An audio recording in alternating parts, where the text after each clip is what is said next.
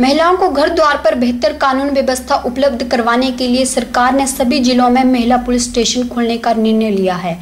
23 अगस्त 2018 को हमीरपुर में महिला पुलिस स्टेशन खोला गया ताकि महिलाओं को बेहतर कानूनी सुविधा मिल सके और मारपीट व छेड़छाड़ के मामलों में कमी आए। हमीरपुर का महिला पुलिस स्टेशन वर्तमान समय में अपनी बेहतर सुविधाएँ महिलाओं को दे रहा है और महिलाओं से जुड़े अपराधों का निपटारा कर रहा है। हमीरपुर महिला थाना प्रभारी रीता शर्मा ने बताया कि महिला पुलिस थाने में दर्ज हुए अधिकतम मामलों का निपटारा कर लिया गया है। उन्होंने बताया कि थाने में कुल 211 मामले दर्ज किए गए थे, जिसमें से केवल छह मामले लंबित बचे हुए हैं।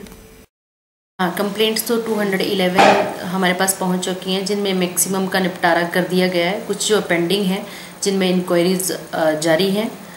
और हमारे पास रजिस्ट्रेशन जो है, वो सिक्स हो चुकी है। डिफरेंट सेक्शन uh, में जिसमें टू केसेस रेप के हैं और थ्री केसेस हमारे पास 498 ए जिसमें विवाहिता को उसके ससुराल वालों द्वारा द्वारा प्रताड़ित करने के मामले और एक जो है हमारे पास मॉलेस्टेशन का केस है। Uh, ये छः केसेस हैं जो अंडर इन्वेस्टिगेशन हैं।